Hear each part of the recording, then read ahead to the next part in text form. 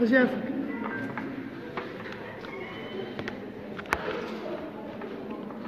صوب لا راه مصوب يمكن. صافي شوفي الصورة واش هي صوب مزيان بالتالي عندما نتحدث عن اختصاص المحاكم نتحدث عن ثلاث مستويات من اختصاص المحاكم. المستوى الأول اختصاص المحكمة الابتدائية. هو المستوى الأول هو اختصاص المحاكم الابتدائية كجهاز اختصاص المحاكم الابتدائية كجهاز كيتقسم لثلاثة ديال النقاط أو ثلاثة ديال المستويات النقطة الأولى مرتبطة باختصاص.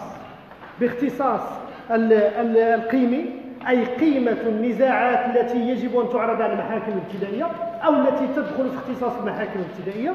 والنقطة الثانية هي الاختصاص النوعي أي نوعية القضايا التي تدخل في اختصاص المحاكم الابتدائية. والنقطة الثالثة وهو الاختصاص المحلي. أي الدائرة القضائية والجغرافية التي تختص فيها كل محكمة ابتدائية على حدة.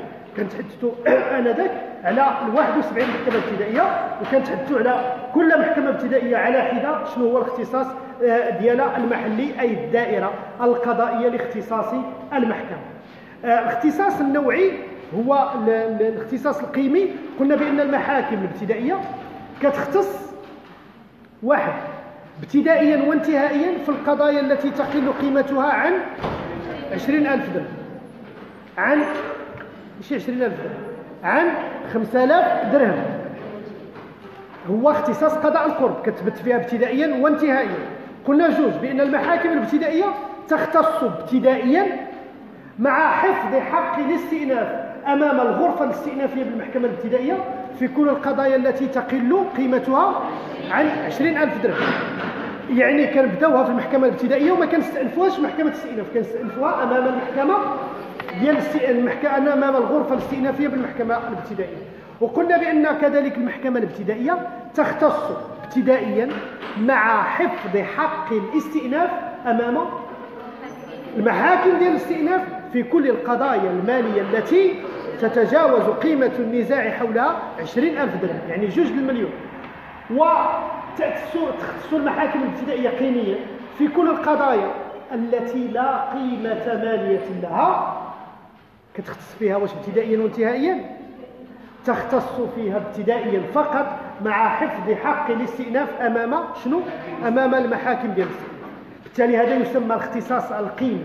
وعلى السمية ديال القيمي لأنه من قيمة المنازعة المعروضة على القضاء لهذا سمي الاختصاص القيمي. الاختصاص الثاني وهو الاختصاص النوعي. وهذا الاختصاص النوعي قلنا شنو شنو هي؟ القضايا التي تختص فيه المحكمة الابتدائية. أي ما هي نوعية الاختصاص أو ما هي نوعية القضايا التي تبت فيها المحاكم الابتدائية. وقلنا القاعدة التي كنت تعقلها هي أن المحاكم الابتدائية هي صاحبة الولاية العامة. شنو كنقصدوا بالولاية العامة؟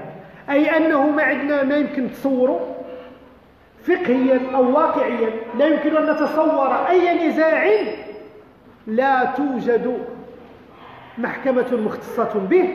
ويمكن نتصور كذلك نظريا بأن كل النزاعات يجب أن تدخل أو تذهب إلى المحاكم الابتدائية.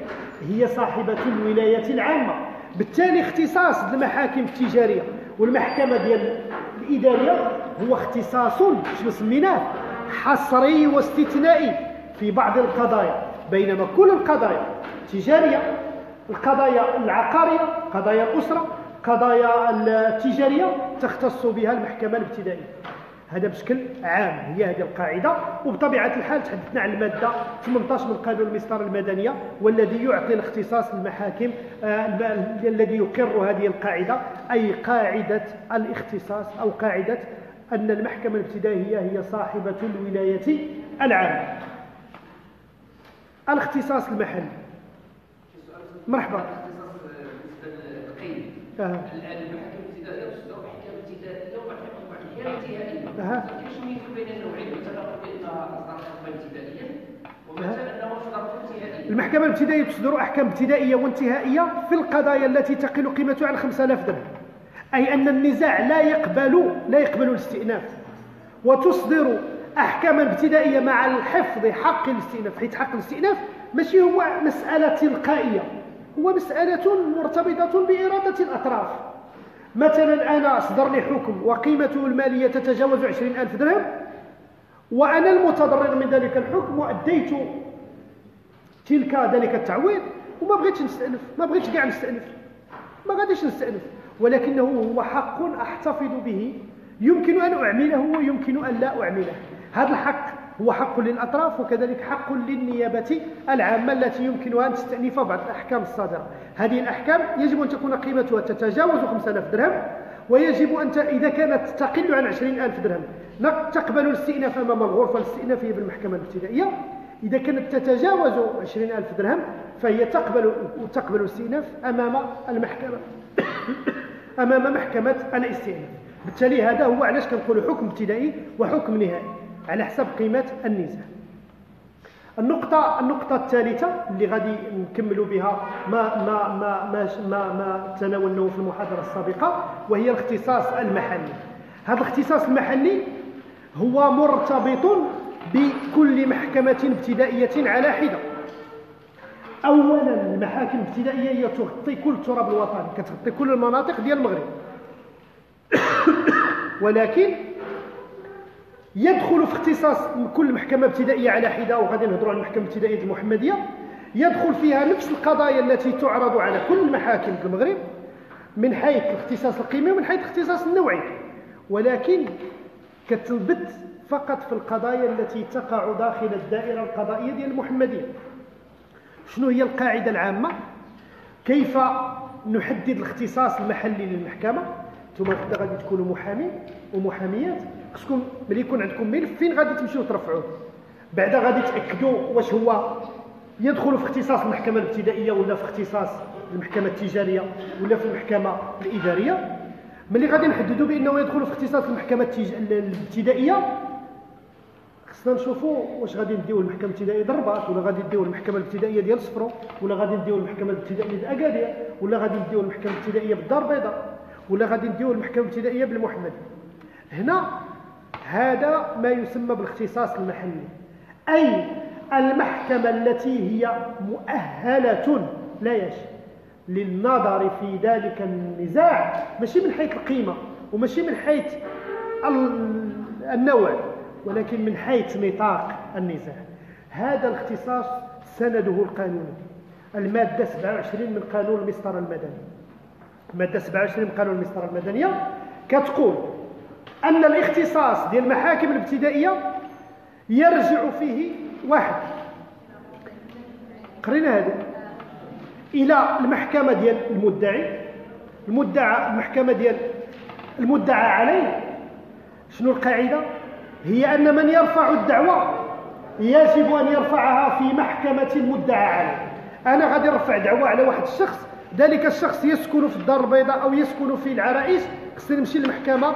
التي أو محكمة ذلك الشخص. يعني من يبادر إلى رفع الدعوة.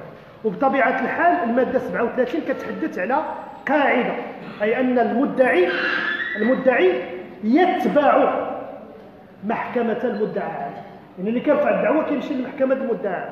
هذه القاعدة اللي تقررها المادة 27 ولكن هذه القاعدة فيها جوج ديال الاستثناءات أساسية. الاستثناء الأول هو الاختصاص. ديال موقع محكمة موقع العقار. عندما نتنازع على أرض موجودة بفاس والأطراف المدعي والمدعى عليه موجودين في المحمدية؟ ما يمكنش يرفعوا الدعوة في المحمدية. محكمة ابتدائية سمشوا لمحكمة العقار. هذا هذا الاستثناء الأول.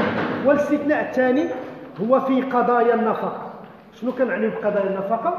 أي القضايا اللي كترفعها الزوجات المطلقات من أجل الحصول على النفقة. فإن القانون رأفة بهذه الفئة سمح لهن بأن يرفعن القضايا ديال النفقة والدعاوى ديال النفقة أن يرفعنها في محكمة المدعي. يعني هنا عكسنا القاعدة. يعني أن الزوجة ما كتمشيش للمحكمة اللي كاين فيها الزوج ديالها أو الطليق ديالها. بل يمكن أن ترفعها في محكمة المدعية ترفع آه، ترفع ترفع الدعوة في محكمة في محكمتها أو في محكمة سكنها. ولكن المشرع خير الزوجة في دعوى النفقة أو المطلقة في دعوى النفقة خيرها بين الإمكانيتين معا بين رفع الدعوى في مكان إقامة الزوج ورفع الدعوى في مكان إقامتها هي وخصوص إذا كان مكان الإقامة مختلف. ولكن العمل القضائي وكذلك الاجتهاد القضائي وكذلك الرأي الصائب يقول بأنه يجب أن نتبع محكمة الزوج وخصوصا عند من أجل تسهيل مساطر التبليغ ومساطر تنفيذ الأحكام المرتبطة بالنفقة. هنا غادي نكونوا انتهينا الاختصاص اللي هو اختصاص المحكمة الابتدائية كجهاز. لننتقل للنقطة الثانية وهي اختصاص الأقسام والغرف المحدثة بالمحكمة الابتدائية.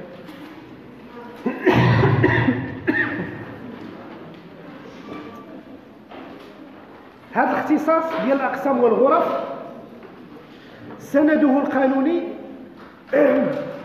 هو المادة الثانية من التنظيم القضائي للمملكة. المادة جوج من التنظيم القضائي ديال المغرب ديال ظهير 1974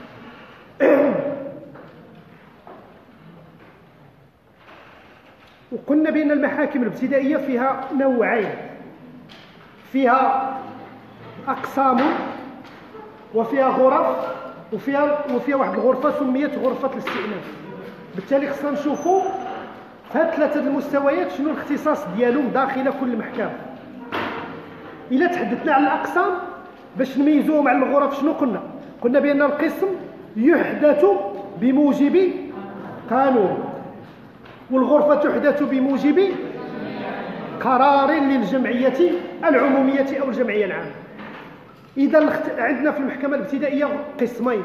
عندنا القسم الأول يسمى قسم قضاء الأسرة وهو القسم الذي تم إحداثه بناء على القانون 73 نقطة 03 والصادر في 3 فبراير 2004 هذا هو القانون اللي حدثه. بماذا يختص هذا القسم؟ شنو هي القضايا التي تعرض على هذا القسم؟ واحد يختص قسم قضاء الأسرة أولا بقضايا الأحوال الشخصية. جوج بقضايا الميراث. ثلاثة بقضايا الحالة المدنية.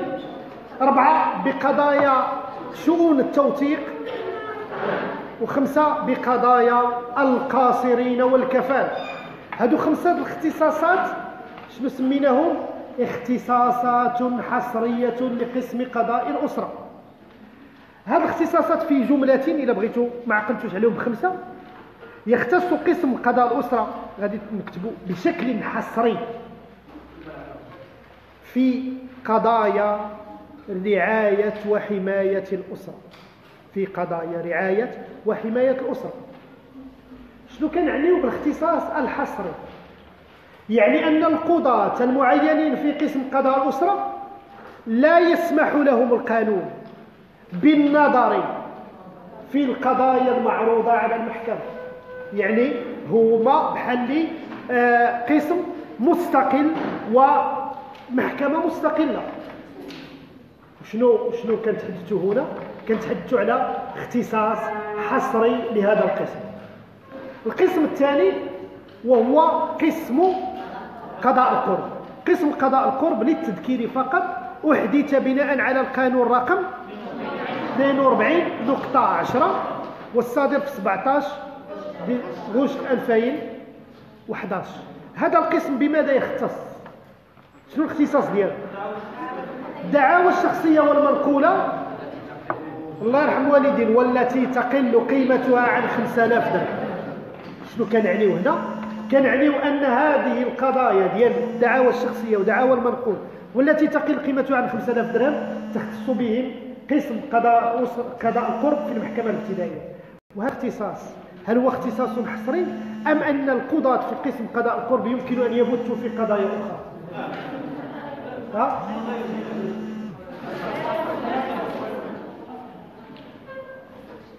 هو اختصاص وتحدثنا على الاختصاص. بالتالي شنو شنو غادي نلقاو في هذيك المادة ديال الاختصاص؟ شنو غادي نلقاو في في هذيك النقطة اللي تحدثنا على اختصاص قسم قضاء القرب الله يرحم والديه يختص في القضايا المدنية والقضايا الجنائية. فين كيختص؟ ورحنا هضرنا على القضايا الجنائية اللي كيختص فيها قسم قضاء القرب في الجناح المخالفات التي تقل قيمتها. بالتالي اختصاص قسم قضاء. دابا علاش كنرجعكم هذا؟ لسبب بسيط. هو أنه المراجعة للامتحان ديال مادة التنظيم القضائي سواء هذا الامتحان اللي غادي يكون هذه السنة أو امتحانات ديالكم في اجتياز المباريات ديال التوظيف ولا المباريات المهنية ما خصوش يكون بالمحاضرات فقط. فكل محاضرة هي تكمله لمحاضرة سابقة وما غاديش يسعفنا الوقت باش ملي نهضروا على اختصاص قسم قضاء الاسره قضاء القرب نتحدثوا على كل الاختصاصات علما أنها أفردنا حصة للحديث عن الاختصاص. بالتالي ملي غادي نوصلوا نجاوبوا على هذه النقطه الاختصاص شنو خصنا نكونوا خصنا نردوا بعين الاعتبار المعطيات والأرقام والاختصاصات والمحاور اللي درسنا في اختصاص قضاء القرب فهمتوا دابا شنو شنو الالتقاء اللي بغيت ندير لكم كذلك ملي غادي نزيدوا في المحاضرات ملي غادي نبداو نتحدثوا على بعض الأجهزة غادي نكونوا شفناهم وعطينا لهم كفاية من المعلومات. بالتالي سنمر عليهم فقط. يعني هذا التذكير هو تذكير منهجي. ملي تكونوا كتوجدوا الأوراق ديال الامتحان وملي تكونوا كتوجدوا الامتحان دائما تذكروا أننا عندما سنتحدث عن قسم قضاء القربة وقضاء الاسره يجب أن نعود إلى ما تناولناه في الحديث عن الاختصاص. لأنه عنوان الاختصاص هو عنوان مركزي وبالتالي يجب أن نذكر بهذا الاختصاص. إذا قلنا بأن اختصاص قسم قضاء القرب اختصاص اولا حصري. اختصاص حصري علاش؟ لأن القضاة المعينين في قسم قضاء القرب. ما عندهمش الإمكان. ما يمكن لهمش قانونا. أن ينظروا في القضايا المعروضة على المحكمة. ينظرون فقط في القضايا التي تدخل في اختصاصهم بموجب ماذا؟ بموجب القانون المحدث للقسم وهو القانون 42 نقطة 10 وهو اختصاص مدني واختصاص جنائي. الاختصاص المدني في الدعاوى الشخصية والمنقولة والتي تقل قيمتها عن 5000 درهم واختصاص جنائي بناء على القانون المحدث للمحاكم القسم قضاء القرب راه كيتحدث على الجرائم لأنه عندنا القاعدة لا جريمة ولا عقوبة إلا بالنص. مزيان هادو الأقسام. نعقلوا مزيان بأن الأقسام اختصاصها هو اختصاص حسن. اذا شنو النقطة الثانية؟ هي الغرف. شنو هما الغرف التي تتكون منهم المحكمة؟ المحكمة؟ الابتدائية. غرفة قلنا بأن المحكمة الغرف تحدث بقرار للجمعية العمومية بناء على إيش؟ بناء على تقييم السنة القضائية وبناء على عدد القضايا اللي كتدخل المحكمة. لأن كل محكمة ولها خصوصية من حيث القضايا ومن حيث النزاعات. هناك بعض المحاكم اللي كنلقاو فيهم النزاعات كبيرة. ومتشعبة وكثيرة ديال ديال ديال المادة العقارية. وهناك بعض المحاكم اللي غادي نلقاو فيهم النزاعات الكثيرة والكبيرة ديال المادة الاجتماعية. بالتالي إحداث الغرف هو قرار مسنود من اختصاص الجمعية العمومية وقلنا عموما يجب أن يكون منهجيا ونظريا آه، غرفة مدنية غرفة تجارية غرفة عقارية غرفة اجتماعية وغرفة زجرية. وعاد غنهضروا على غرفة السيد وهذه الغرف الغرف ديال المحكمة هذه الغرف واش اختصاصها هو اختصاص حصري في القضايا التي تنظر فيها؟ هو اختصاص. لأنه ببساطة يمكن للقاضي أن يعين في الغرفة المدنية ولكن يمكن أن تحال عليه القضايا التي آه، القضايا الاجتماعية. ويمكن للقاضي المعين في الغرفة المدنية أن يبت في القضايا المرتبطة بالعقار أو المرتبطة بالقضايا الزجرية. بالتالي اختصاص الغرف وهذا اللي خصنا نذكروا به وخصكم تعقلوا عليه مزيان هو أن اختصاص الغرف هو اختصاص غير حصري. يعني ما مرتبط بالموضوع ديال الغرفة بالموضوع التخصص النقطة الثالثة وهي اختصاص غرفة الاستئناف بالمحاكم الابتدائية. غرفة الاستئناف بالمحاكم الابتدائية تم إحداثها بناء على القانون 34 نقطة 10 القانون 34 نقطة 10 وهو القانون الصادر في 17 غشت 2011 شنو كتختص هذه الغرفة؟ شنو الاختصاص ديالها؟ قلنا هذه الغرفة يمكن أن نعيب عنها أنها تخرق مبدأ أساسيا وهو مبدأ مستويات التقاضي ومبدأ أنه عندنا محاكم درجة أولى ومحاكم درجة ثانية. وتم إحداث هذه الغرفة خارج هذا النظام ديال محاكم الدرجة الأولى ومحاكم الدرجة الثانية حيث تم إحداث درجة ثانية في محاكم الدرجة الأولى وتم إعطاها اسم غرفة استئنافية بالمحاكم الابتدائية. هي تختص باستئناف كل القضايا كل القضايا. المعروضة على المحكمة والتي تقبل الاستئناف يعني شنو القضايا اللي ما كتبتش فيهم وما كيدوزوش الاستئناف؟ هما قضايا قضاء يعني كل القضايا اللي كتدخل المحكمة وكتقبل الاستئناف تبت فيها المحكمة غرفة الاستئناف بالمحكمة الابتدائية. ولكن شنو هو القيمة المالية ديال النزاع اللي كيتقبل؟ يجب أن تقل قيمة النزاع أو القضية عن عشرين ألف درهم. يعني النزاعات التي تقل عن عشرين ألف درهم يمكن استئنافها بالغرفة الاستئنافية بالمحكمة الابتدائية والنزاعات التي تفوق قيمتها عشرين ألف درهم تذهب مباشرة إلى محكمة الاستئناف. هذو النقطة الثانية المرتبطة باختصاص الغرف والأقسام قاعدة الأساسية الغرف اختصاصها اختصاص حصري والأقسام اختصاصها اختصاص مزيد القاعدة الأساسية هي أن الأقسام اختصاصها اختصاص حصري والغرف اختصاصها اختصاص حصري. مزيد الغرف غير حصري والأقسام مزيد النقطة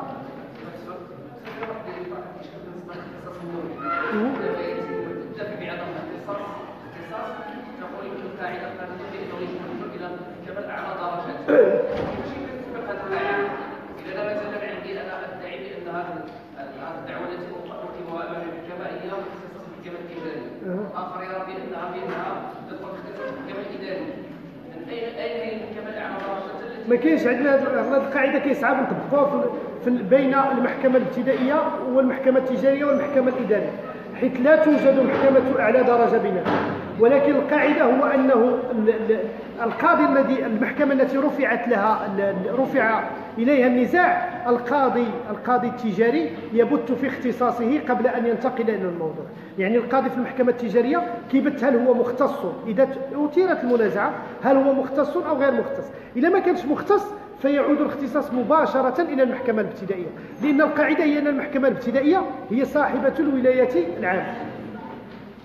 ما ما حتى ما عندناش محكمة عليا أعلى درجة ما كنعاودوش نرجعوا يعني يسند هذا الاختصاص أو النظر في هذا الملف يسند إلى القاضي الذي رفعت إليه الدعوه وخصوصا شنو المشكل؟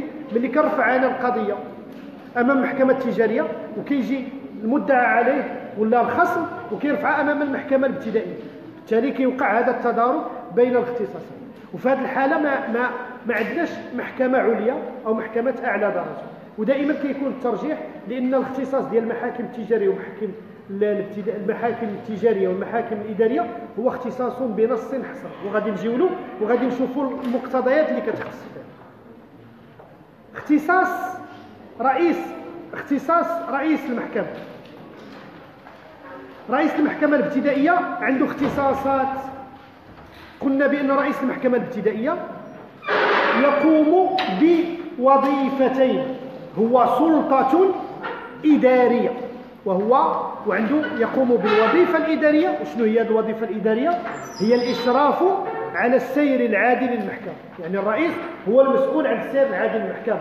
على استقبال المرتفقين على السير ديال المحاكم ديال ديال ديال انعقاد الجلسات على توفير النظام العام داخل المحكمة وتسهيل المرافق الإدارية داخل المحكمة.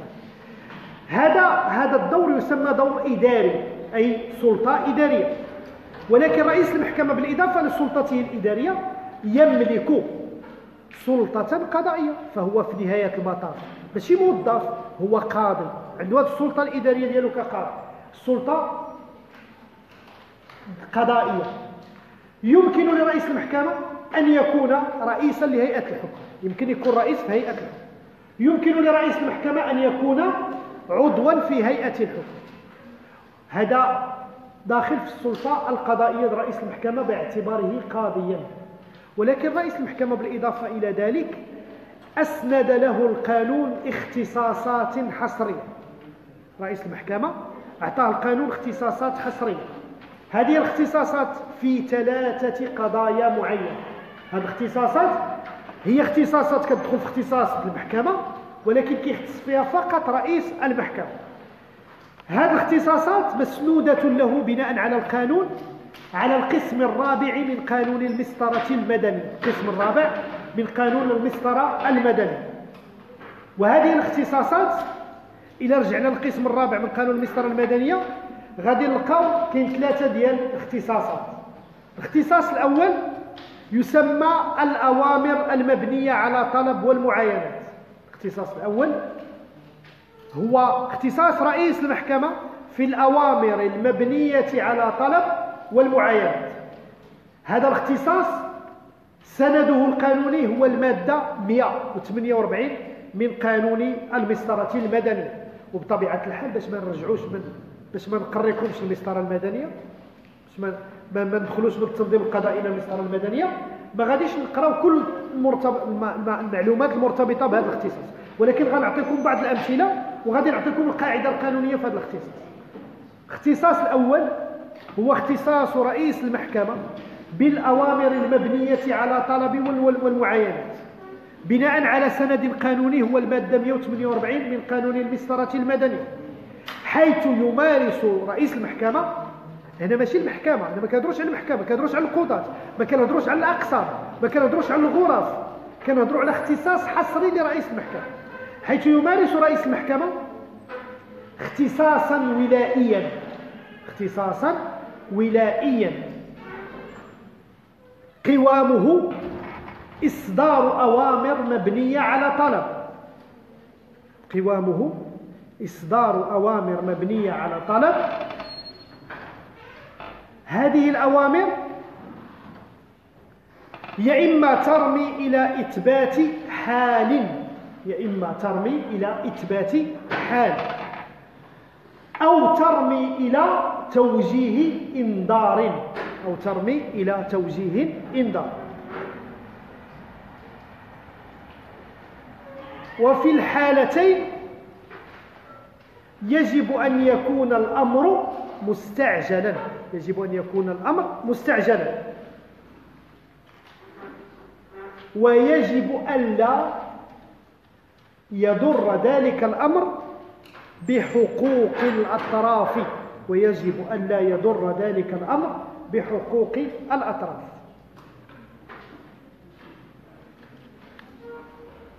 مزيان. إلى إلى إلى كنا سجلنا هذا الشيء خصنا نشرحوه. شنو كنعنيو بالأوامر المبنية على طلب وشنو كنعنيو بالنقطة المرتبطة بإثبات حال. عندنا بعض الحالات بعض القضايا اللي إلا مشينا للمحكمة ورفعنا الدعوة العادية حول موضوع معين وحول منازعة معينة. عندما سيصدر القاضي في القاضي الموضوع عندما سيصدر أمرا أو يصدر قرارا بإثبات واحد الحالة ما غاديش نقدروا نثبتوا تلك الحالة. لأن مسطرة التقاضي مسطرة طويلة ولأن بعض الحالات القانونية والواقعية يمكن أن يصيبها تغيير. بعض الحالات شنو هي الحالات الواقعية والقانونية؟ نعطيكم واحد المثال. كل غالب غالب الناس ساكنين في des appartements كيكون الجار اللي فوق منك عنده شي fuite في الماء. هذاك الماء كيقطر هذه واقعة وكتكون بزاف.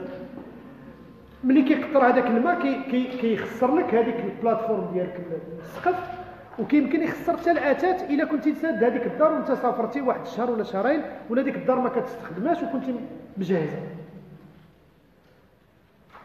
هذاك القطرة تقدر تهبط يقدر يطيح لك السقف يقدر يوقع لك واحد الضرر معين. أنت تملك خيارين.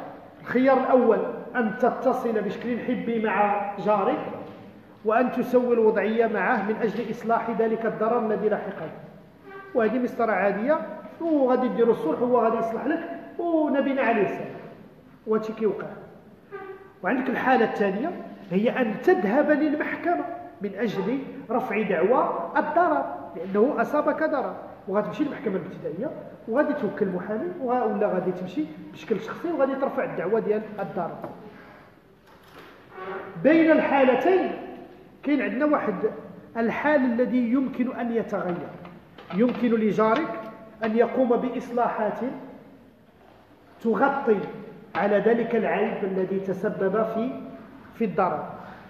يعني يمكن يدير الإصلاحات في البلومبي يمكن يصلح يمكن يجيب الجليش يمكن كاع يدير الخام وما يبقاش الضرر واضح للعين يعني في مسطرة التقاضي ستحتاج إلى أن تثبت ذلك الضرر وسيطلب محامي الجار بأن تكون هناك خبرة وغادي يقول لهم ماشي أنا هذاك الفويت ما عرفناش من عندي.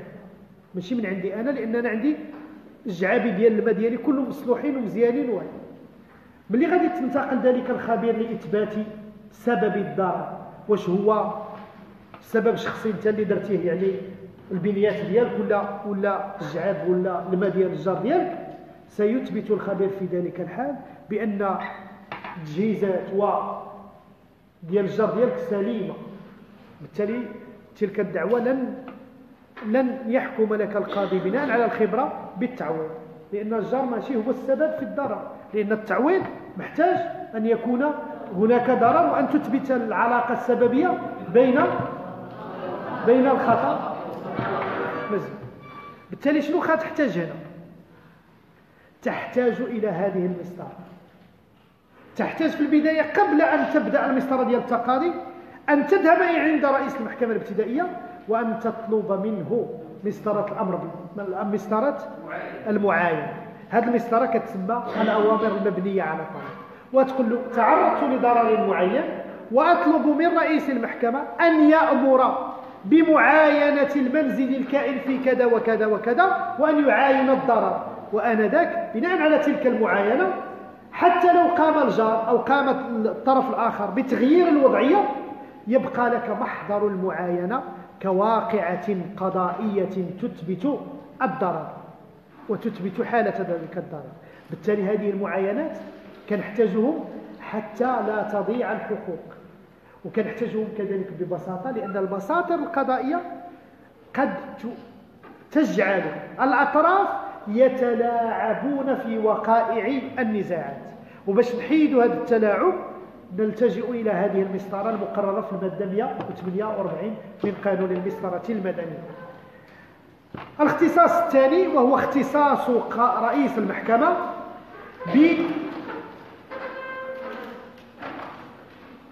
بالقضايا المستعجلة أو قضايا المستعجلات.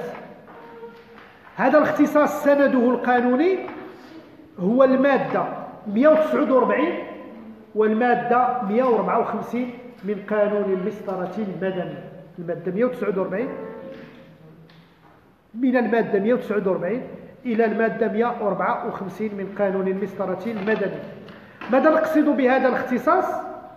هو أن القضاء المستعجل أو نظام القضاء المستعجل في المغرب وفي العالم كله هو يروم أو يهدف إلى إسعاف الخصوم بإصدار أوامر سريعة يهدف إلى إصدار أوامر سريعة في الحالات التي لا تحتمل إجراءات المساطر القضائية في الحالات التي لا تحتمل إجراءات المساطر القضائية إثبات بعض الحالات. يعني ملي كتكون عندي مسطرة طويلة وكيكون بعض الحالات مستعجلة كنحتاجوا إلى قضاء استعجال هذا القضاء الاستعجالي يمكن الفكرة الأساسية ديالو اللي خصنا نعقلوا عليها كلنا هي أن القضاء المستعجل يقوم على فكرة والمبدأ ديالو هو الحماية العاجلة للحقوق. هو الحماية العاجلة للحقوق وهو كاين اللي كيسميه هو الحماية الوقتية أو الحماية المؤقتة للحقوق. هو الحماية الوقتية أو الحماية المؤقتة للحقوق. هاد المسطرة ديال القضاء الاستعجالي فيها شرطين أساسيين باش نديروها. هي تدخل من اختصاص رئيس المحكمة ولكن باش تدار خصها جوج ديال الشروط أساسية. الشرط الأول يتمثل في عنصر الاستعجال. غادي تقولوا لي يا أستاذ كل القضايا التي نذهب بها إلى المحكمة هي مستعجلة. فكل ذو حق أو كل طالب الحق يحتاج يستعجل الحصول على حقه أو يستعجل قضاء حقه. ولكن فين كنتحدثوا عن الاستعجال هنا. نتحدث عن الاستعجال بمنطق الخطر. كيفاش بمنطق الخطر؟ أو بمؤشر الخطر. فالاستعجال في القضاء المستعجل هو عندما نخاف على الحق من خطر محدق قد يذهب ذلك الحق أو قد يتلف أصل الحق. استعجال يتمثل هنا هو الخطر الحقيقي المحدق بالحق المراد المحافظة عليه. هو الخطر الحقيقي المحدق بالحق المراد المحافظة عليه. هذا الشرط الأول الشرط الاستعجال. الشرط الثاني وهو عدم المساس بجوهر الحق. كيفاش عدم المساس بجوهر الحق؟ كيفاش حماية الحق؟ وفي نفس الوقت عدم المساس بجوهر الحق.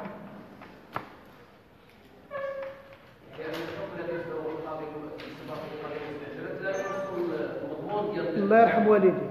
يعني أن موضوع النزاع لا يصدر فيه حكم. بل يصدر الحكم لحماية بعض الحقوق أو لتثبيت بعض الحقوق من الزوال والضعيف.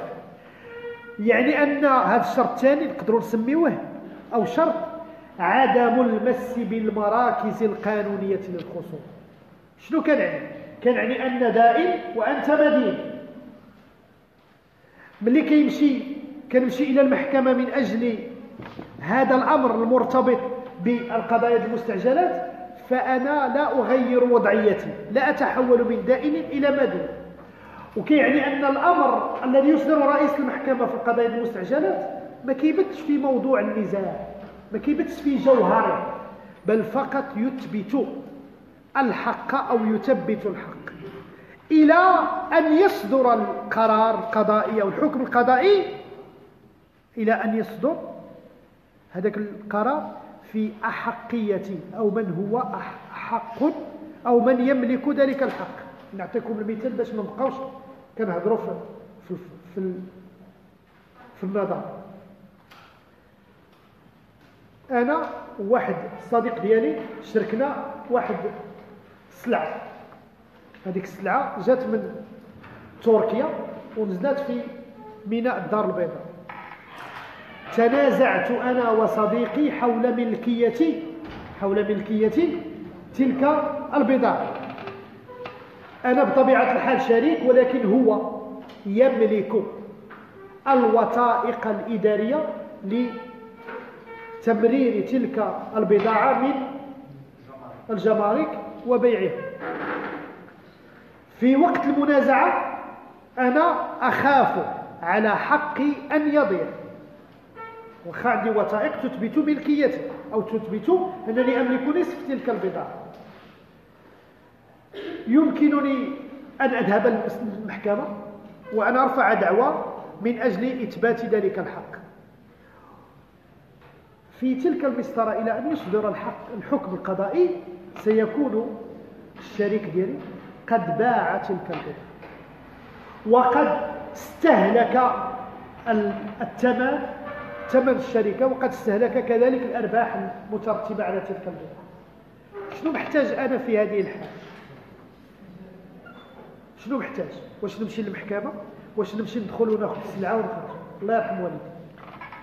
أحتاج إلى أن أحجز على تلك البضاعة. إلى ماذا؟ إلى أن يصدر الحكم القضائي الذي يعطيني حقي. لأن حقي إذا لم أقم بهذا القضاء بهذه المسطرة الاستعجالية لأن حقي شنو هو الحق ديالي في نهاية المطاف؟ يا إما نصف البضاعة يا إما نصف الثمن ديال البضاعة يا إما تعويض عن عن الأرباح وثمن البضاعة. هادشي كله هو الحق ديالي. هو هذا الفلوس اللي جبتو بضاعه بالتالي عندي جوج حوايج. يا إما غادي نمشي نحجز على تلك البضاعة بناء على أمر استعجالي رئيس المحكمة عندما سيصدر هذا الأمر هل يحتاج إلى أن يستمع لي لا يحتاج. هل يحتاج إلى أن أن يبت في جوهر النزاع اللي هو ملكيتي أو عدم ملكيتي لتلك ما ما محتاج. يعني رئيس المحكمة لا يبت في النزاع بل هو يصدر امرا بالحجز التحفظي على البضاعة.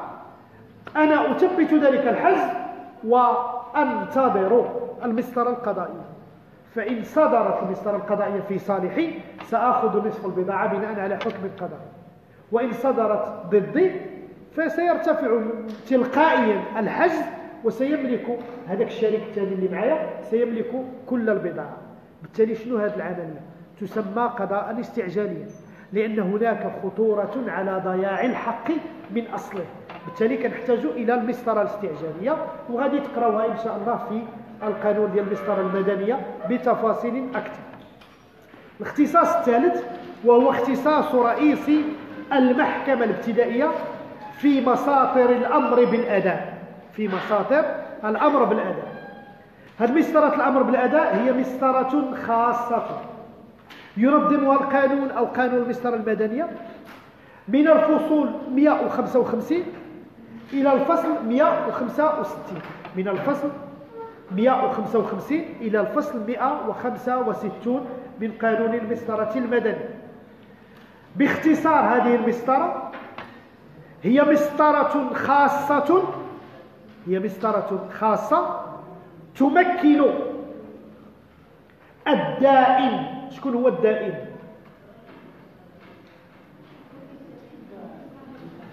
هو اللي كيسلك الفلوس يسمى الدائن. والمدين هو الشخص الذي اقترض مبلغ الدين. مزيان. تمكن الدائن من استصدار أمر من رئيس المحكمة. هذه المسطرة هي مسطرة من نوع خاص. تمكن الدائن من استصدار أمر من رئيس المحكمة. بطبيعة الحال تحدث المحكمة شنو؟ ابتدائية. باستيفاء دينه باستيفاء دينه أي باش ياخذ الدين ديالو بناء على إجراءات سريعة وبسيطة. بناء على إجراءات سريعة وبسيطة. شنو الخاصية هذا المسطر؟ يعني أنا كنسأل واحد السيد 15000 درهم مليون ونص ما بغاش يعطيها لي وعندي وثيقة تثبت أصل الدين أذهب إلى رئيس المحكمة الابتدائية أقدم له مقالا كتابيا من أجل اعتماد مسطرة الأمر بالأداء بناء على الفصول ديال المسطرة المدنية. وأضع وثيقة الدين الوثيقة الأصلية للدين في تلك المسطرة. رئيس المحكمة لا يستدعي الأطراف للبت في ذلك النزاع بل يطلع على المقال ويطلع على أصل الدين وعلى حجته ويصدر مباشرة الأمر بالأداء. يعني أن المنازعات حول الديون يمكن أن استيفاؤها بناء على هذا المسطرة أو مسطرة الأمر الذي. هذه المسطرة خاصيتها واحد هي أنها تجري دون مرافعة يعني أن رئيس المحكمة لا يستقبل الأطراف ولا يعقد جلسة خاصة ما عندناش جلسة الحكم بل هو يصدر أمرا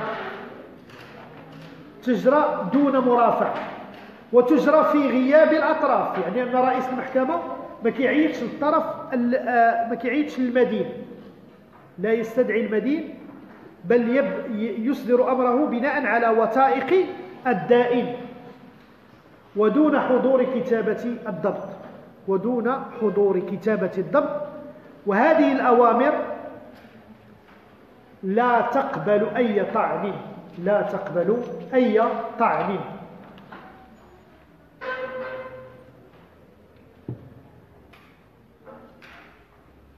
شكون اللي عنده شي سؤال في المحاكم الابتدائية.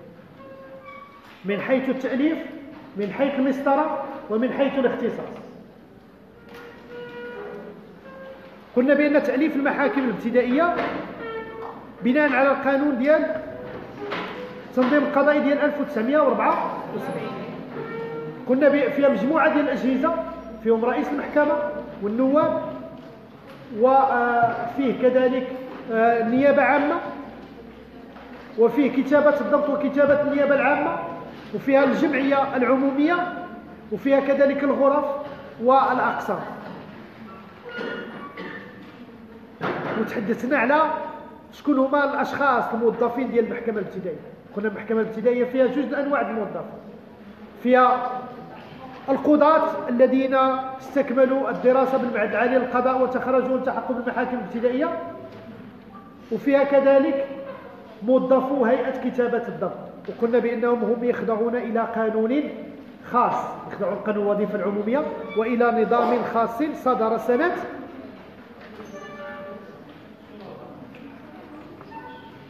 ألفين صدر سنة 2011 وقلنا بأن كتابة الضبط تتكون من ثلاثة أصناف. شكون هما؟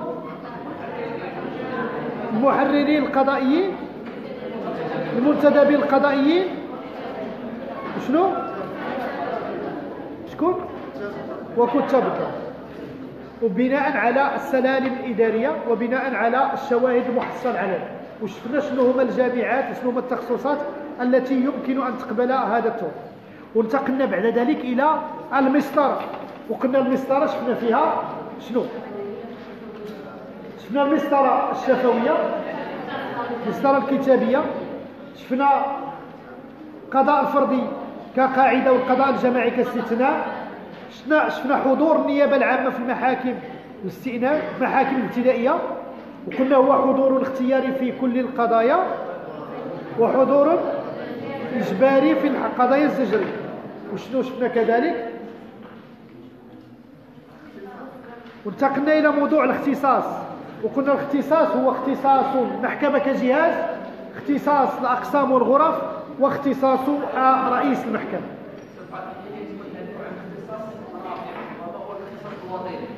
اختصاص الوظيفي لا الاختصاص الوظيفي المحاكم يمكن تحدثوا عليه وكيتحدث عليه بعض الفقه. عندما تحدثنا عن المحكمة الابتدائية عن النظام القضائي المحاكم الابتدائية بالدائرة القضائية الدار البيضاء. في الدار البيضاء قلنا بأن المحاكم عندها اختصاص وظيفي. يعني رجعت عندنا القضاء المحكمة الابتدائية الزجرية؟ ورجعت عندنا. يعني قلنا المحاكم الابتدائية في المغرب كله لها نفس النظام باستثناء النظام التجريبي الذي تم إطلاقه سنة 2011 بالمحكمة الابتدائية أو بالدائرة القضائية الدائرة الاستئنافية بالدار البيضاء حيث تم إحداث محاكم مصنفة. هو هذا السمية القانونية تم إحداث محاكم ابتدائية مصنفة على مستوى الدائرة ديال القضاء الدائرة الاستئنافية بالدار سننتقل إلى الحديث عن المحاكم التجارية الابتدائية. تم إحداث المحاكم الابتدائية واحد المشكل أساسي غادي يكون عندكم وعند كل اللي كيقرأ التنظيم القضائي غادي نبدأو ننتقلوا من قانون لقانون. المفروض أن التنظيم القضائي يجب أن يكون في وثيقة قانونية واحدة. يعني أن الطالب يعني أن المحامي يعني أن القاضي يعني أن المواطن يأخذ مذكرة قانونية واحدة ويتعرف على كل المحاكم. شنو المشكل في المغرب؟ أنه سنة 1974 صدر التنظيم القضائي وكل التعديلات التي لحقت التنظيم القضائي من أجل أن نتحدث عن هذا النظام القضائي المغربي كله صدرت بناء على قوانين مستقلة.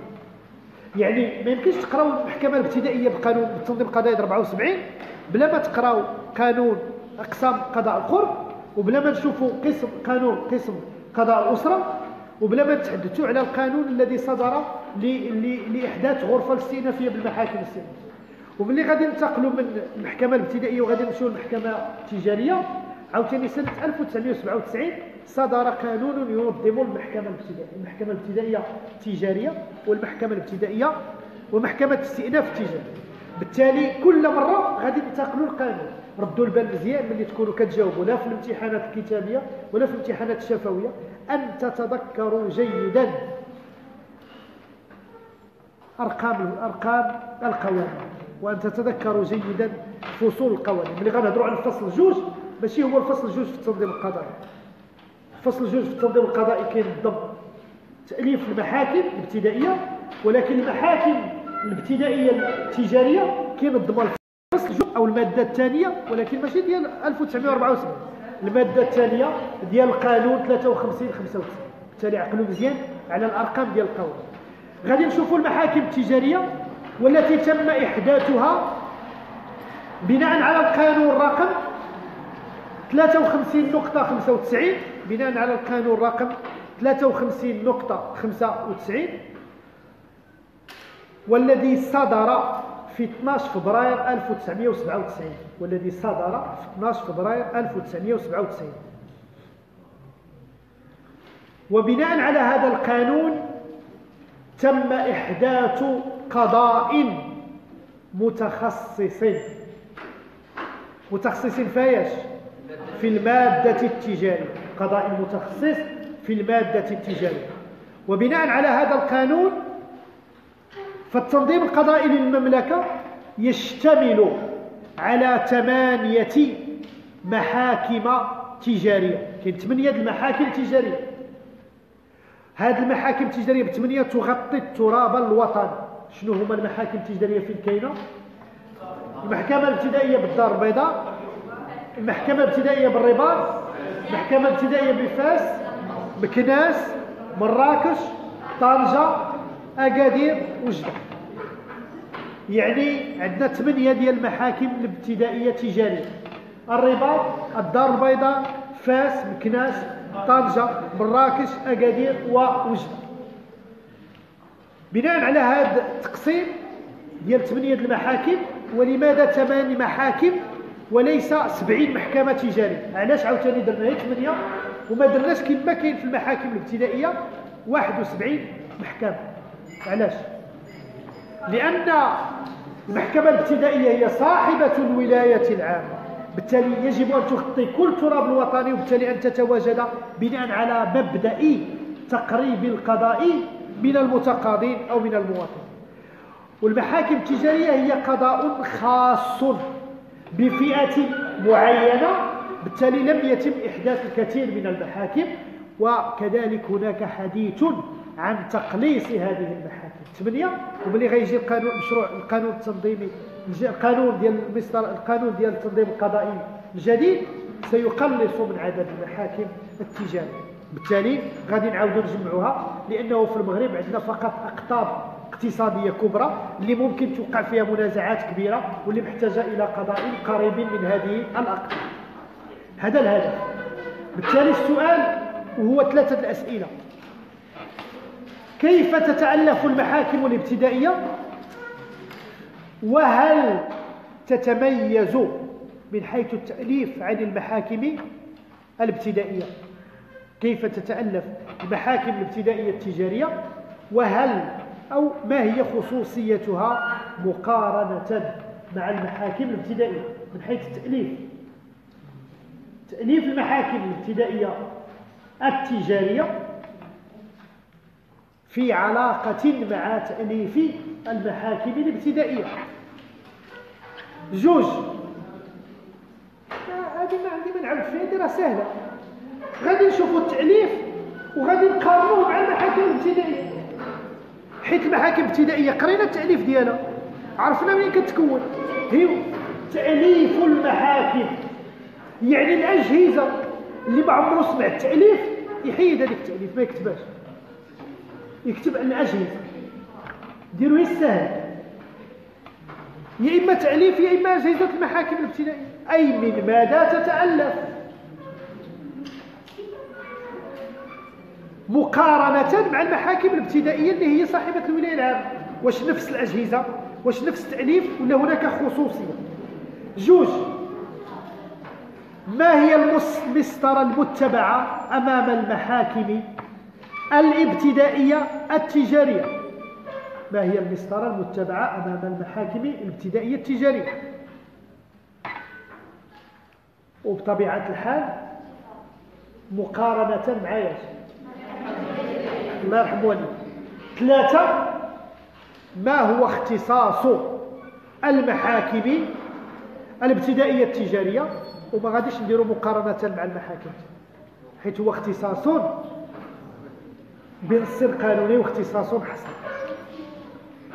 نبدأو في هذه الحصة غادي نشوفوا التأليف وغادي نشوفوا المسطر وفي الحصة المقبلة سنتناول الاختصاص. بالتالي نبداو بالتأليف.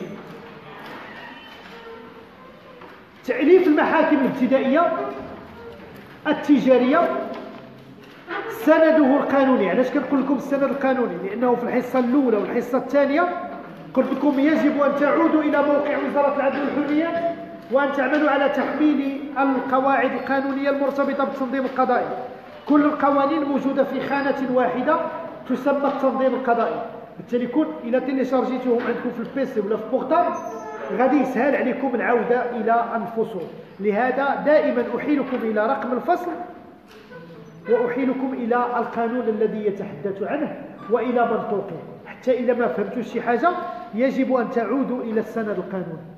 وكذلك يجب أن تذكروا كذلك السند القانوني يوم الامتحان. السند القانوني هو المادة الثانية من القانون رقم 53 95 المتعلق بإحداث المحاكم التجارية ومحاكم الاستئناف التجاري.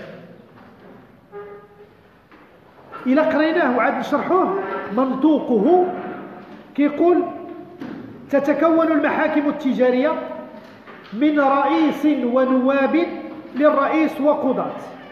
من نيابة عامة تتكون من وكيل للملك ونائب أو عدة نواب من كتابة للضبط وكتابة للنيابة العامة. يجوز أن تقسم المحكمة التجارية إلى عدة غرف بحسب طبيعة القضايا المعروضة عليها. غير أنه يمكن لكل غرفة أن تبحث وتحكم في القضايا المعروضة على المحكمة. يعين رئيس المحكمة باقتراح من الجمعية العمومية باقتراح من الجمعية العمومية قاضيا مكلفا بمتابعة إجراءات التنفيذ. شنو هو الجديد في هذا الفصل الذي قرأته عليه؟ الجديد في التأليف المحاكم التجارية هو إحداث مؤسسة قاضي المكلف بإجراءات التنفيذ. هذا هو الجديد. بينما كل الأجهزة الموجودة في تأليف المحكمة الابتدائية نجدها موجودة في في محاكم الابتدائية التجارية. يعني نفس تأليف المحكمة الابتدائية نفسه كالقوه في المحكمة الابتدائية التجارية باختلاف واحد وبسيط. هو أنه ما كنلقاوش في المحكمة الابتدائية. ما ياك ما دختو ملي كنقول الابتدائية وعاوتاني كنقول الابتدائيه التجارية كيبان لكم دخل. ملي كنقول المحكمة الابتدائية هي المحكمة الابتدائية صاحبة الولاية العامة. وملي كنقول المحكمة الابتدائية التجارية هي اللي صدرت بناء على القانون ديال 5 ديال 53 نقطة. مزيان. ما تدخلوش مع التسميات ولا غادي نحيد الابتدائية. غادي نبداو نقولوا المحكمة الابتدائية ونقولوا المحكمة التجارية. مزيان. حيت أصلا حنا مازال في محاكم الدرجة الأولى. إذا الاختلاف الموجود بين المحاكم التجارية والمحكمة الابتدائية هو اختلاف واحد. هو إحداث مؤسسة قاضي المكلف بمتابعة إجراءات التنفيذ. هو إحداث مؤسسة القاضي المكلف بإجراءات متابعة التنفيذ. حيث نجده في المحكمة التجارية ولا نجده في المحكمة الابتدائية. وبناء على المادة الثانية من القانون 53-95 يمكن أن نتوقف عند خمس مؤسسات أو خمس أجهزة. خمسة المؤسسات أو خمسة ديال الأجهزة. الجهاز الأول وهو رئيس المحكمة. هذا رئيس المحكمة له نفس الاختصاصات المسندة إلى رئيس المحكمة الابتدائية ولكن غنذكركم رئيس المحكمة التجارية له اختصاص إداري.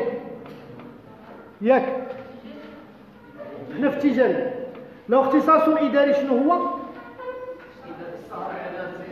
السهر أو الإشراف العام على سير المحكمة. له اختصاص قضائي. وعنده اختصاص قضائي فيه جوج. اختصاصات عادي واختصاص استعجالي اختصاص عادي أي عضوية هيئة الحكم أو رئاسة هيئة الحكم واختصاص استعجالي في هذوك الأوامر المبنية على طلب في المعاينات وفي كذلك مسطرة القضايا المستعجلة.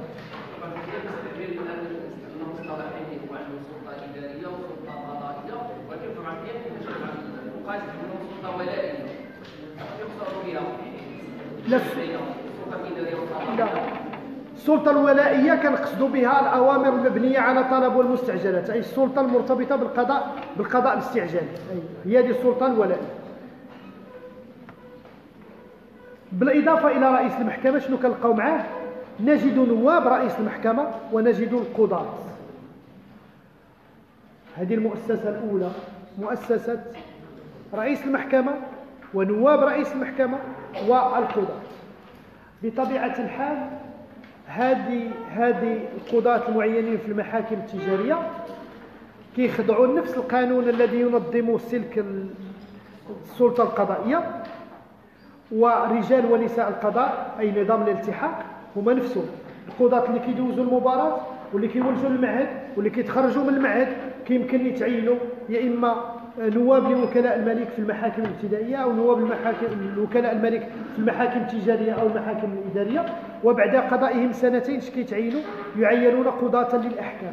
كيتعينوا قضاة الأحكام يا إما في المحاكم الابتدائية يا إما في المحاكم التجارية يا إما في المحاكم الإدارية. يعني نفس النظام القضائي ديال الملحقين القضائيين كنطبقوه في المحكمة الابتدائية هما نفس القضاة اللي كنلقاو في المحكمة التجارية. هي هادو عندهم اختصاص خاص في القضايا اللي غادي نشوفوا تابعه لاختصاص المحكمة. هذا الجهاز الأول. الجهاز الثاني هو النيابة العامة. يعني راه هذا الجهاز اللي هضرت عليه راه ما, ما, ما فيش هاد جوج كلمات. ما فيش هاد النقطتين اللي قلت راه فيه نقط أخرى راه حنا كنا شفناها فين؟ المحاكم الجهاز الثاني هو النيابة العامة. النيابة العامة تعين عبر شكون رئيس شكون هو الرئيس النيابة العامة في المحكمة الابتدائية؟ هو وكيل الملك. وكيل الملك. وعنده نائب أو عدة نواب لوكيل الملك. شنو المشكل اللي عندنا في النيابة العامة أو في مؤسسة النيابة العامة في المحكمة التجارية؟ أجمع الفقهاء والخبراء في القانون وفي التنظيم القضائي على أن النيابة العامة في المحاكم التجارية هي سلطة هيئة غير فعالة. يعني إحداث النيابة العامة ومؤسسة النيابة العامة في النظام القضائي المغربي وفي المحكمة التجارية بالضبط هذا ما عنده حتى معنى. شنو السبب ديالو؟ شنو الدور النيابة العامة؟ النيابة العامة هي المحامي ديال المجتمع. النيابة العامة تدافع عن القانون. النيابة العامة يمكن أن تحرك الدعوة العمومية. دور النيابة العامة في الغالب هو دور زجري. سؤال هل تملك في نظركم المحكمة التجارية اختصاصا زجري المحكمة التجارية؟ هل تملك اختصاصا زجريا؟ واش عندها؟ واش يمكن تملكه؟ جزء من الاختصاص الزجري ولكن ماشي اختصاص زجري الغالبية ديال الاختصاص الجزري المسند للنيابة العامة هو تختص به النيابة العامة في المحكمة الابتدائية. يعني أن دور النيابة العامة في القضاء التجاري وفي النزاعات التجارية وفي المنازعات التجارية هو دور محصور ومقيد لأن الاختصاص الزجري الذي تملكه النيابة العامة هو مسند إلى النيابة العامة في المحكمة الابتدائية. لهذا يجمع الفقهاء على إمكانية حذف بالأصل النيابة العامة في القضاء في القضاء التجاري يعني ما عندوش واحد الدور كبير كما هو نفس الدور اللي كيقوم به النيابة العامة في المحكمة التجارية. لأن حتى النزاعات بين التجار والتي يمكن أن تتحول إلى منازعات جنائية ما كتختصش بها المحكمة التجارية. كتختص بها النيابة العامة في المحكمة الابتدائية. لهذا يمكن نسجلوا واحد النقطة هنا على النيابة العامة. غالب الآراء تتفق على عدم فعالية دور النيابة العامة أمام المحاكم التجارية. ما دام ما دام أن الجانب الزجري لا يزال موكولا أو مسندا إلى النيابة العامة في في المحاكم الابتدائية.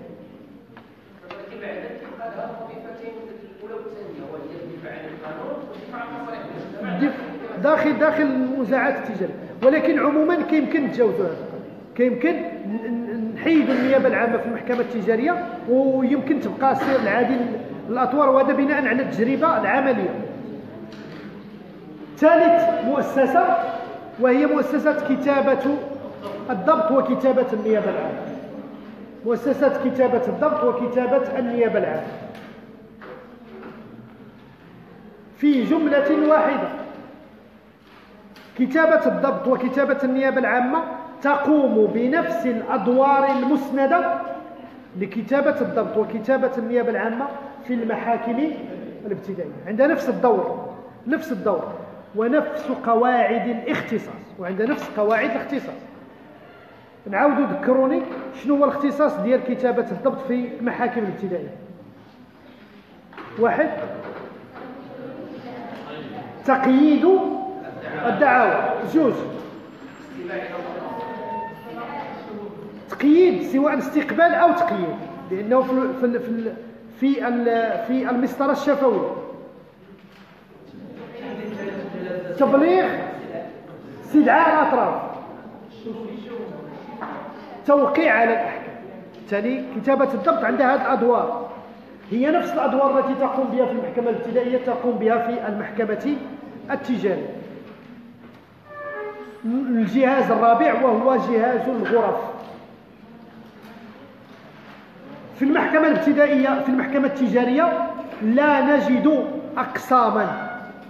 ما كنوجدوش الأقسام وهذا اختلاف مع المحاكم الابتدائية حيث المحاكم الابتدائية فيها الأقسام والمحاكم الأقسام والغرف والمحاكم التجارية فيها فقط الغرف. هذه الغرف هل تحدث بقانون أو تحدث بقرار؟ الغرف الموجودة بالمحكمة التجارية تحدث بقرار للجمعية العمومية. هذه الغرف لها اختصاص حصري. شنو كنقصد بالغرف؟ لها اختصاص حصري. أي لها اختصاص ليس لها اختصاص حصري. الغرف بالمحكمة التجارية ليس لها اختصاص حصري. شنو كنقصد؟ كنقصد بأن كل غرفة يمكن أن تبت في كل القضايا المعروضة على المحكمة. كل غرفة في المحكمة التجارية يمكن أن تبت في القضايا المعروضة على المحكمة. نعاود نقرأ لكم المادة جوج المادة جوج شنو كتقول يجوز أن تقسم المحكمة التجارية إلى عدة غرف بحسب طبيعة القضايا المعروضة عليها غير هذه اللي مهمة غير أنه يمكن لكل غرفة أن تبت وتحكم فين في القضايا المعروضة على المحكمة يعني في كل القضايا. يعني هذا كيقول أن اختصاص الغرف هو اختصاص غير حصري شنو هي نوعية شكون يعطيني شي أسماء الغرف اللي كنلقاو في المحكمة التجارية؟ كنلقاو غرفة الأصل التجاري غرفة صعوبة المقاولة غرفة السجل التجاري. هادو كلهم غرف غرفة العقود التجارية. هادو كلهم غرف توجد ويمكن أن تحدث في المحاكم التجارية بناء على كل محكمة وبناء على عدد النزاعات التي تعرض على المحكمة وطبيعة تلك المنازعات تجتمع الجمعية العمومية وتبت في إحداث غرف أو في حذف اسم غرفة أو في جمع اختصاص غرفة مع غرفة أخرى وهو اختصاص غير حصري. المؤسسة الخامسة وهي مؤسسة قاضي التنفيذ. هذه المؤسسة هي مؤسسة جديدة. هي مؤسسة جديدة. ما كانتش عندنا في التنظيم القضائي المغربي. ما عمرنا كانت عندنا قبل إحداث المحاكم التجارية واحد المؤسسة سميتها قاضي التنفيذ. كان القاضي يا إما كيكون أو القضاة كان يا إما كيكونوا في النيابة العامة يا إما كيكونوا قضاة الأحكام. وكيتعينوا في الغرف أو يمكن القاضي أن يصير رئيسا للمحكمة. هذه المؤسسة هي مؤسسة جديدة. كيف يتم تعيينها؟ واش كيعين رئيس المحكمة؟ واش كيعين الجمعية العمومية ها؟ لا ولكن المادة جوج كتحدث على طريقة التعيين. المادة جوج يعين قاضي التنفيذ بناء على اقتراح من الجمعية العمومية.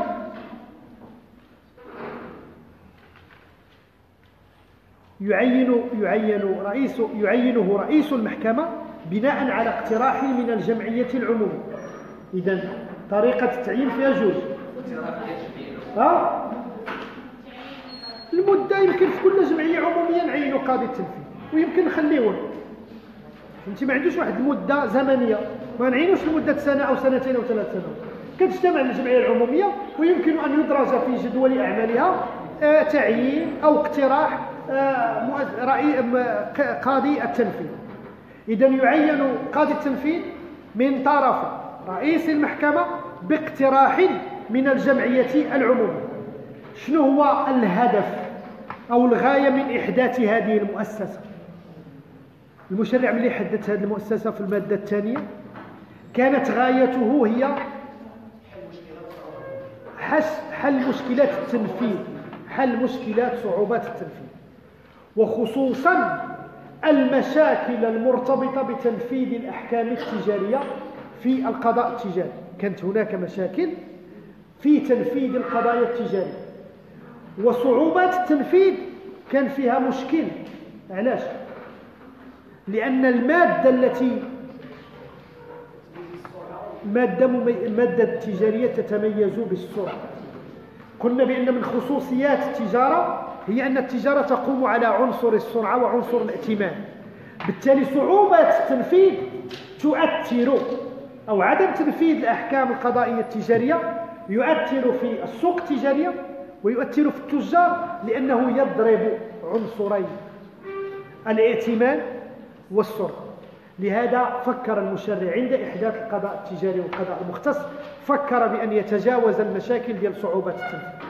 بالتالي جاءت لتتبع القضايا ولتنفيذها بسرعة. شنو المشكل اللي مطروح اليوم؟ في هذه المحاكم وفي هذا القضاء في هذه المؤسسات قاضي التنفيذ. اليوم مؤسسة قاضي التنفيذ هي مؤسسة شكلية في المحاكم التجارية. عندنا بعض المحاكم التجارية ما فيهمش قاضي التنفيذ ما كاينش كاع قاضي التنفيذ ما داروش. وذلك لثلاثة أسباب أساسية. السبب الأول هو أن هذه المؤسسة لم تكن فعالة بالشكل الذي توخاه المشرع. ما قدرتش في السنوات الأولى أن تقوم بالأدوار الموكولة إليها في تتبع تنفيذ القضايا وتنفيذ القضايا والأحكام التجارية. السبب الثاني أن مؤسسة قاضي التنفيذ هناك غموض ولبس حول اختصاص هذه المؤسسة. كاين واحد الغموض وكاين واحد اللبس حول اختصاص هذه المؤسسة. اختصاص قاضي التنفيذ يتقاطع يتقاطع مع من؟ مع اختصاص أعوان التنفيذ. يعني قاضي التنفيذ ما عرفش اليوم ما عندناش جواب قانوني. هل هو مكلف بتتبع التنفيذ أو مكلف بالتنفيذ الأحكام؟ إذا كان مكلف بتتبع التنفيذ فيحتاج إلى وسائل وإمكانيات لتتبع هذا التنفيذ. وإذا هو مكلف بتنفيذ الأحكام بالتالي خصنا نحيدوا أعوان التنفيذ اللي كيقوموا بالتنفيذ. بالتالي هذا المشكل في الاختصاص جعل هذه المؤسسة تولد ميتة.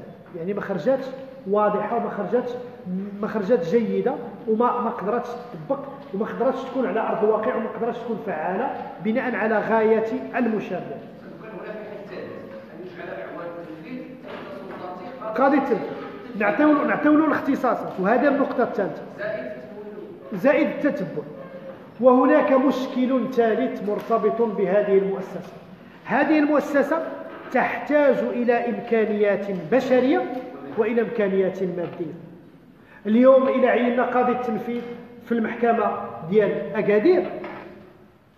راه تابعه له ثلاثة ديال الجهات ولا أربعة الجهات ديال المملكة. غادي يخرج من أكادير باش يمشي ينفذ في العيون ولا غادي ينفذ في طنطا ولا غادي يتبع الملف كيفاش غادي يدير؟ كاين مشكل على مستوى آه، الإمكانيات اللوجستيكية والإمكانيات البشرية. قاضي التنفيذ يحتاج هذه المؤسسة تحتاج إلى إدارة مالية وإلى إدارة بشرية. يعني خصو يكون عنده الاعوان تحت يده خدامين معاه تحت سلطته وخصو يكون عنده مكاتب ماشي داخل المحكمة فقط. لأن تتبع تنفيذ القضايا راه ماشي هو عمل إداري وقضائي. هو عمل يحتاج إلى التنقل إلى مكان التنفيذ وإلى آه، عين المكان أي مكان إجراء تلك التنفيذات وتتبع المآلها. وهذا وهذا يحتاج إلى إمكانيات مادية وبشرية لم تعطى إلى القاضي إلى مؤسسة قاضي التنفيذ. بالتالي أصبح دوره شكليا فقط. تم إحداثه في بعض المحاكم وبعض المحاكم لم تحدث هذه المؤسسة. والنقطة السادسة والأخيرة في الأجهزة هناك جهاز الجمعية العمومية الجمعية العمومية أو الجمعية العامة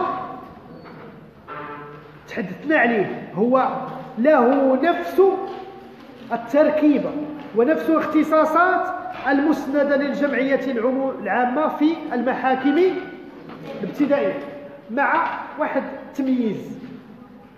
مع تمييز جديد. في المحكمة التجارية الجمعية العمومية من اختصاصها. اقتراح قاضي التنفيذ.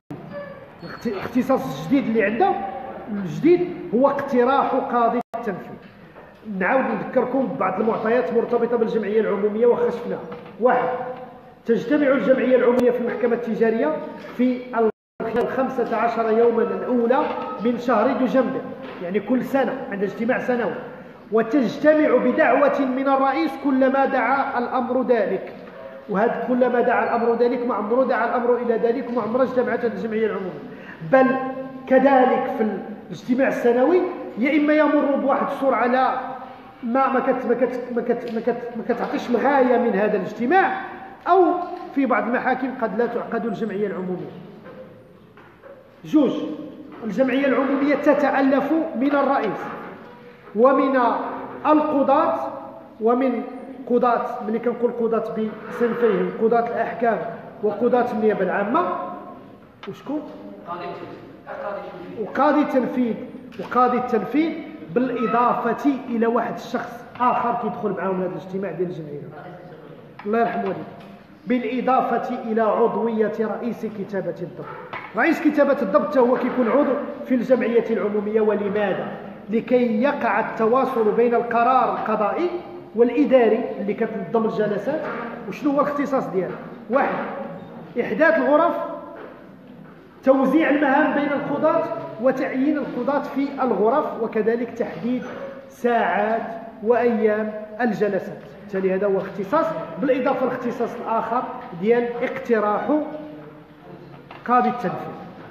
هذو هما المؤسسات الموجودة في المحكمة الابتدائية التجارية. بالتالي إلى قارناهم مع المحكمة الابتدائية غادي نلقاو نفس المؤسسات نفس الهيئات باستثناء مؤسسة قاضي التنفيذ. المسطرة. ما هي المسطرة أمام المحكمة التجارية؟ المسطرة أمام المحاكم التجارية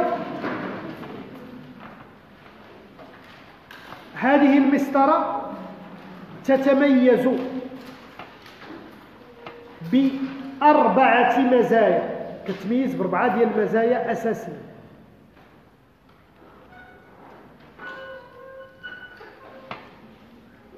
ويحددها القانون في مجموعة من الفصول. إذا بغيتوا ترجعوا المسطرة أمام المحكمة التجارية تحتاجون إلى العودة